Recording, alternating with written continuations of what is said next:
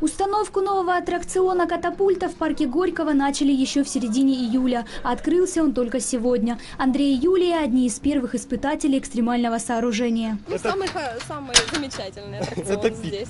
Мы думали, что он будет самым страшным, и это так и было. Свободное Это падение, да. Бросили в И небо, резко и вот это все.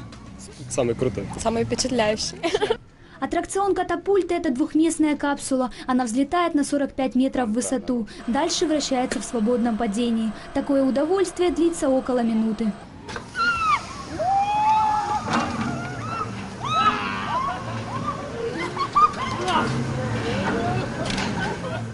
Сотрудники парка рассказывают, очереди на аттракцион сегодня нет. Сесть в катапульту в первый день отважились лишь 26 смельчаков. Остальные пока только восторженно наблюдают за происходящим. Дочка хочет, я нет.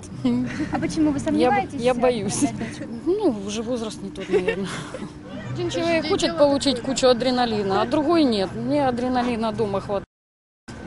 Аттракцион э, очень экстремальный, у него большая перегрузка 4,8G.